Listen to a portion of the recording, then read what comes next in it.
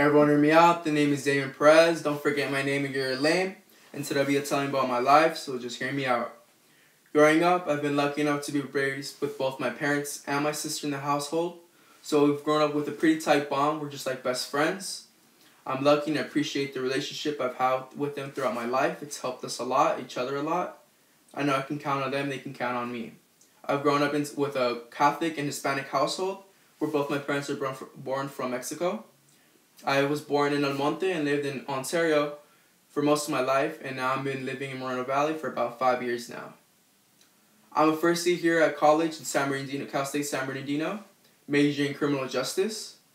And I'm always at school, and if not at school, I'm working. I'm working. I've been working at Jack in the Box for about a year now, and I recently got promoted to a team leader, which is like a supervisor. And when I'm not at work or at school, I like to enjoy my free time with family and my girlfriend. We like to all go out to restaurants, try out new things, and have fun. One thing I don't like is being stuck at home and being in large crowds. So I like to be in my tight circle with friends, small group, or just my family and girlfriend. We like to go out to the wilderness, so we like to go to Yosemite and Big Bear and Big Bear um, camping trips. I like the peace, I like the quietness. I like I said I don't like big large crowds noises.